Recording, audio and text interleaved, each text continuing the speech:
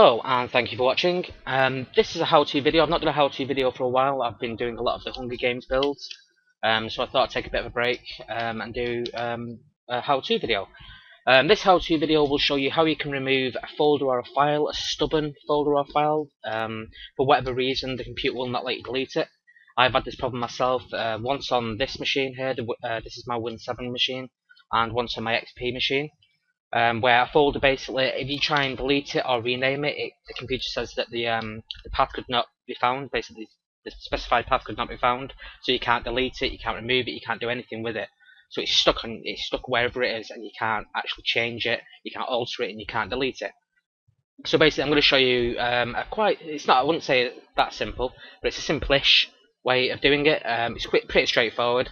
Um, as long as you follow um, what I show you step by step, you shouldn't have any problems whatsoever.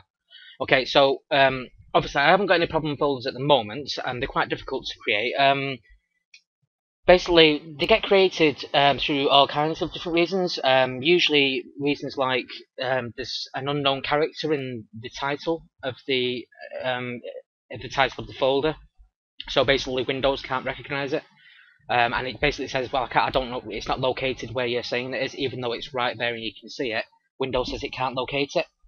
So basically, it becomes unusable, un unchangeable. You can't do anything with it. So I'm going to show you how you can get rid of these files and folders that really, really are stubborn to get rid of. Okay, so uh, what I'll do is I'll create a folder anyway. Obviously, this won't be an unremovable folder, but we need a folder to play with. So let's get a folder here, and we'll call this one the problem folder. Okay, so we've got a folder here. Just imagine that basically I can't do anything with this. If I try to rename it, um, it says nope, can't find the specified path. Um, if you try to delete it, it says nope, can't find the specified path. It just, just doesn't recognise that the folder's there. First thing you need to do, if there's anything inside the folder, because even it's bizarre, but even though the folder is not recognised, the address is not recognised by Windows, you can, if there's something inside it, you can actually open the folder and see everything inside it. The best thing to do is get everything inside, cut it, and get, get it out of the folder. So remove everything out of that folder. Okay, you should be able to do that. There should be nothing stopping you doing that.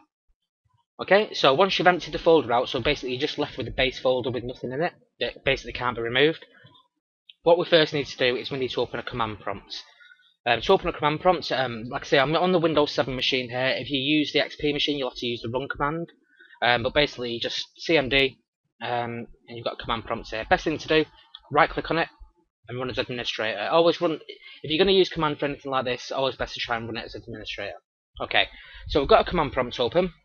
We know it's an administrator command prompt because it says administrator at the top. And we've got our problem folder. So we need to get rid of this folder. Okay, so the first thing we need to do is we need to change the directory of where Windows is looking here. Because at the minute it's just looking in Windows System 32, which is not the right area. Because this folder is not located there, it's located on the desktop. If this was located in win uh, in my documents or in another folder, you would need to tell Windows to look in there. So basically, this is how you tell Windows to look in that folder. So I want it to look in desktop. Okay, so I you need to press CD for change directory because you're telling Windows I want to change the directory from Windows System 32 to this new one. Okay, so my desktop is um, at users um, backslash cg1. Uh, your your obviously your um your desktop will be users your, whatever your username is and then desktop if it was on the desktop and so on and so forth. You can easily find out um, where a, a file is located by just if you open up a file and click on there. If it's Windows 7, if it's XP, it should show this anyway. If you just open up the file, it'll actually show the address of exactly where it is. But we don't want the actual folder itself. We don't want the, to change direction of the folder. We just want to where the folder is actually situated, which is in the desktop. Okay, so I'm going to change that to desktop. So as you can see, once you've pressed enter, it's no longer looking in uh, Windows System 32, it's now looking in Users CG1 Desktop, so it's actually looking on the desktop for what we want. Okay, so the next thing we need to do is tell Windows to list, because there's, there's, something very important that we're after. We're after the 8.3 name. Um, and I'll explain what the 8.3 name is. Well, I won't explain the name, I'll show you exactly what the 8.3 name is. But that's the thing that we really want. Okay, so we need to tell Windows to look for everything on the desktop, just list everything on the desktop and tell us all the information about everything that's on the desktop. So what you need to do is you type in dir for directory, um, and try, try, to think off the top of my head, it's dir, and then we want to do um, forward slash a, space, forward slash x, space, forward, uh, forward slash p. Okay, um, I think the, the A's uh, basically displays the contents of the folder, um, including any hidden files, and the X parts um, basically tells tells the computer that we want the 8.3 names as well. Okay, so we've done that. So it's dir space forward slash a forward slash uh, sorry space forward slash x space forward slash p. Press enter, and you get this list up. It'll say press key to continue, just so it can finish a list. Okay. So if we look along the list there, basically we're looking for this we're looking for this folder, this problem folder, um, and we can see it there. Okay. So we can see problem folder. This is the folder that we're looking for. You can see other folders on the desktop as well, like Photoshop projects, system files. System files is there. Photoshop projects is there, and so on and so forth. So you can see all these. But the thing we're really after is this. This is the 8.3 name, basically. Okay, and we need this because this will actually allow us to delete the folder. Okay, and I'll show you exactly how you can do that now. Okay, so once we've got the 8.3 name, I would also suggest as well be very, very sure this is the folder that you want to delete because it will it will delete it. It'll give you an option. It'll say yes or no. Once you've said yes, bang, it's gone. It doesn't go into your recycle bin. It's gone. You won't be able to recover it. Okay. So this is this is how you're going to how are you going to do the delete. Okay. So what you need to do is we know that that's the 8.3 na name there, the PROBLE tilde one. Okay. They, they should all have a tilde after them so you can recognize the 8.3 names. So what we're going to do is we're going to type in, um, so we want to delete it, so it's, because it's a folder, if it's a file, in fact I'll show you, if it's a file that you want to get rid of, um, it's, a, it's a little bit different. Basically you'll type in delete, and then you'll type in, say, if this was a file, which it's not, so it won't, it won't work, but if it's a file, you type delete, or del, space, then you put the 8.3 name in and then press enter. But because it's not a file, it wouldn't work. If you want to move a folder, which this is obviously a folder, it's a little bit different. You need to type in rd, because we're removing a directory, um, forward slash s, okay? And then we need to type in the um, 8.3 name. Okay, so it's P-O-R-B-L-E tilde 1. Okay, you'll find the tilde on your keypad. It should be near the enter button. It's usually um, there with the hash key. So it's, it's usually shift and then the hash key and it should be a tilde.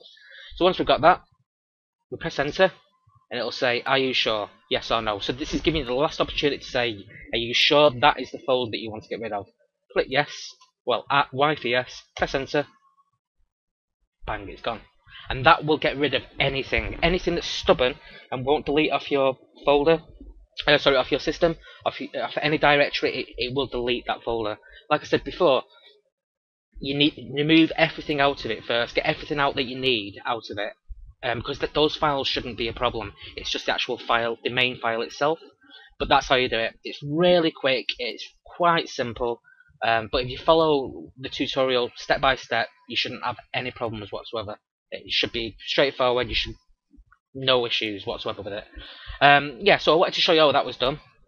Um, so if you've got anything like that, any problem files or folders that just won't delete for whatever reason, the computer's telling you it can't find it or it's it's being used by something else, this is a definitive way to delete it off the system. But like I say, also be careful.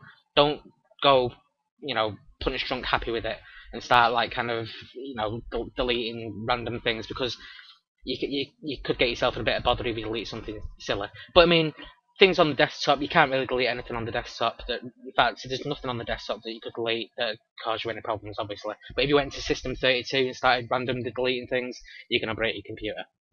Um, but yeah, so I mean, this is just this is um, a way to delete something which is a problem. Don't use it to delete everything, because um, if you start trying to delete everything with it, um, you might start causing some instabilities in the system it's just best to use it as, as a last resort. So, uh, I mean, I, like I said, I've had this problem on a Windows 7. On this machine itself, I had a folder that it was sat here for about four or five days before I worked out a way to get rid of it. Um, and it just wouldn't get, it just wouldn't delete. I had one on my um, XP machine as well, and that wouldn't delete. Um, and I think I used it. I can't remember what the method I used. That it was quite a while back. It was over a year ago that I had that problem. Um, but yeah, so this is uh, the way to do it.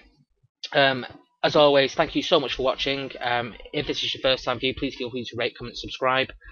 Um, and let me know if there's anything else you want me to, uh, to see me do. Um, if you've had any issues or you know something out there that you you thought, oh, I wouldn't mind seeing how you can do that, um, let me know in the comment section and I'll see what I can do.